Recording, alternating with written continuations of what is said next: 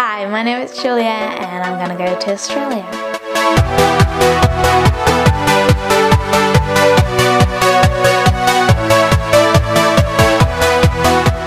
I'm gonna start in Cairns, uh, which is the northern part of Australia because it's a little more warm there right now because it's gonna be winter soon there and uh, it's Queensland which is great for farm work um, which I'm going to do for three to six months. From there I'm going to go to the south, southern parts of Australia like slowly, like really slow.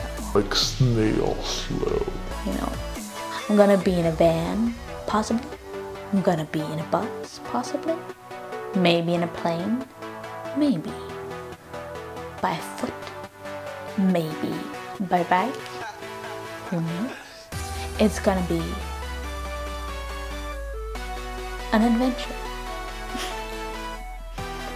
so, yeah, join me and you'll have an adventure yourself. Woo!